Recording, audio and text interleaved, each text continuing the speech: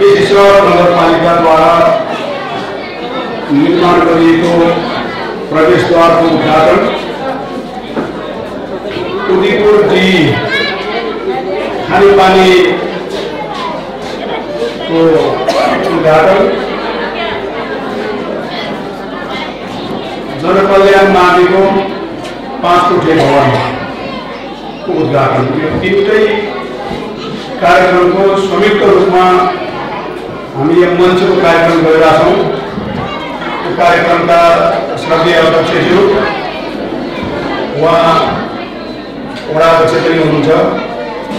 अध्यक्षज्यू कार्यक्रमका प्रमुख अतिथि गण्डकी प्रदेश सरकारका मुख्यमन्त्री माननीय सुब्बा गुरुङज्यू बेसी सहर नगरपालिकाका मेयर गुमान सिंह अर्यालज्यू उपमेयर लक्ष्मी अधिकारीज्यू प्रमुख जिल्ला अधिकारी लगायत राष्ट्र सेवक कर्मचारी साथीहरू कारवाही प्रमुखज्यूहरू सुरक्षा निकायका प्रमुखज्यूहरू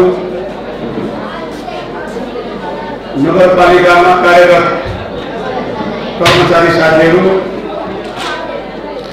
विद्यालय व्यवस्थापन समितिको अध्यक्ष हाम्रो पार्टीको नेता पनि हुनुहुन्छ कृष्ण अधिकारीज्यू।